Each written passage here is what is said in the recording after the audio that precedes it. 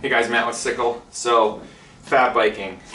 Question all the time what do you wear on your hands? Because a lot of people, it's really cold out, they want to wear the big mittens. Mittens are wonderful, but it's really hard to grab your brakes when you've got a mitten and hold on to the bar at the same time. So, a couple different options for you. If you really like just having gloves, easy on and off, these guys. So, it's the best of both worlds. You get a mitten, but you also will have an extra spare finger to actually hold on to your bike instead of just having your fingers covering the brakes. So that's one option. We've got a whole bunch of these, all sorts of different sizes from Swix. These are also really good for cross-country skiing as well. So if you like to ski, you like to bike, great option for everybody.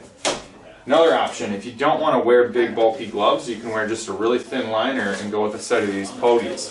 So these guys mount right onto the end of the bar, they cover up your brake, um, and they're insulated, they're super warm. We've got two different styles from 45NRTH. Um, we've got their thinner, lighter weight one, it's also a little bit less expensive.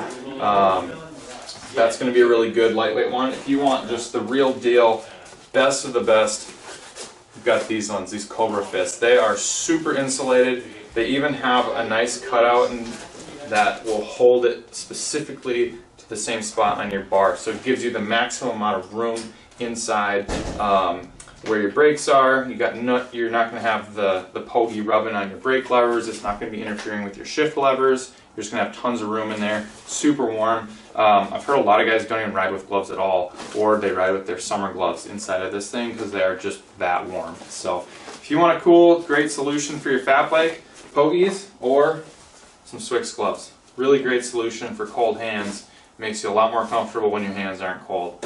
Um, one less thing to worry about. So come on in, and check them out. We got plenty of them. See you later.